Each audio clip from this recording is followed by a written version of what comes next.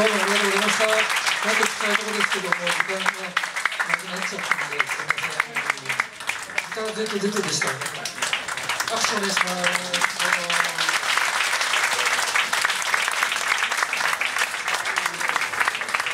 えー、SPC の、えー、ライブ、冬のライブ、これで終わりにしたいと思います。